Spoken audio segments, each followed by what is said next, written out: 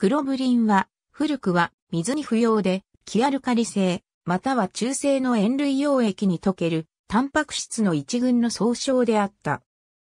現在では、結晶タンパク質を構成する、血清アルブミン、フィブリノゲンと並ぶグロブリンを指すことが多い。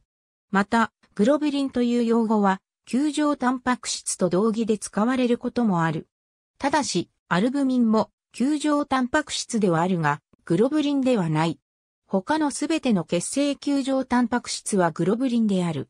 グロブリンはアルブミンよりも分子量が大きく、純粋には溶けないが希薄な塩水には溶ける。血清の電気移動においても、東電点がアルブミンよりも高いため移動しにくい。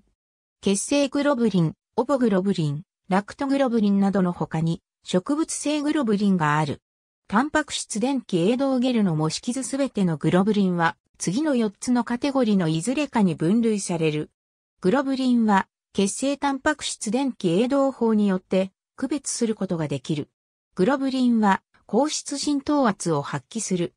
グロブリンが欠乏すると、グロブリンのキャリア機能の喪失、高質浸透圧の低下による浮腫、及びガンマグロブリンの減少による抗体の酸性低下で感染症にかかりやすくなる。グロブリンには様々な大きさがある。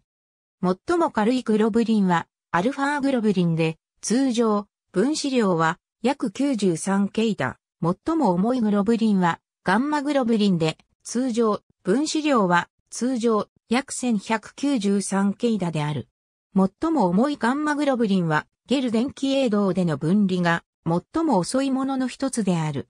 一血液中のグロブリンの正常な濃度は約2.6から4.6グラムデシリットルである。グロブリンの中には肝臓で産生されるものと免疫系で産生されるものがある。血液検査の参考基準値。グロブリンの血液含有量を他の成分と比較している。カボチャ種子グロブリンの結晶構造グロブリンタンパク質は他の動物種だけでなく植物にも存在する。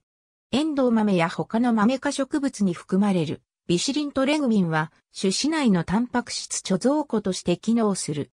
これらのタンパク質は人の免疫グロブリン E 抗体と結合するとアレルギー反応を引き起こす可能性がある。偽性グロブリンはグロブリンの一種であり、新生グロブリンよりも硫酸アンモニウムに溶けやすい。偽性グロブリンは純粋にも溶解するが、新生グロブリンは溶解しない。テンプレート、球状タンパク質。ありがとうございます。